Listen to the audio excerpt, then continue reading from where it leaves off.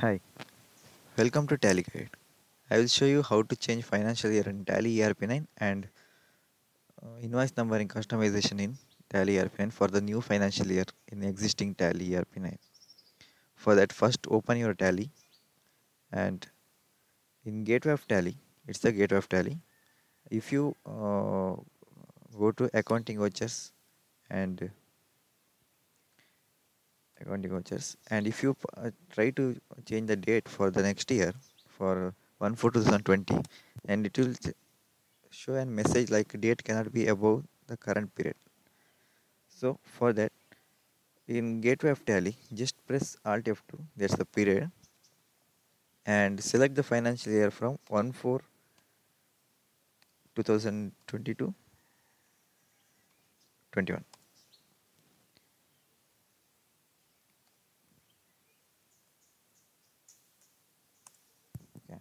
now you see in uh, if you try to pass an entry it will show you the financial year like uh, billing date from 1 4 2020 okay?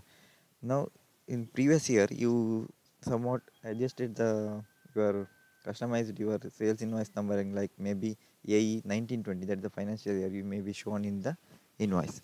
But to change that one just come to account accounting info voucher type and alter for exist change to make changes existing voucher type just come to alter. And here select your voucher type. It may be sales or whatever you created that one.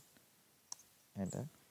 And in this advanced use make it as yes use advanced configuration make it make it as yes okay.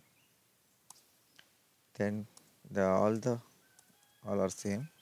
Just here applicable date 1 4 20 make it as 1 4 20 and the starting number is same 1 yearly. And in prefix detail same 1 4 20 and here you give that the same. And 20 hyphen 21 this is because uh, in your in your gst portal it will not allow the same voucher numbers. If you are pass, uh, passed in 1920 in previous year and passing the same in this year, uh, that will show you duplicate entry in GST portal while uploading JSON file from directly from Tally ERP9. Now you can pass the entry by coming accounting vouchers and you see the number is changed AE 2021 001 that's it. Now you can pass the same uh, entries whichever you're passing last years previous years.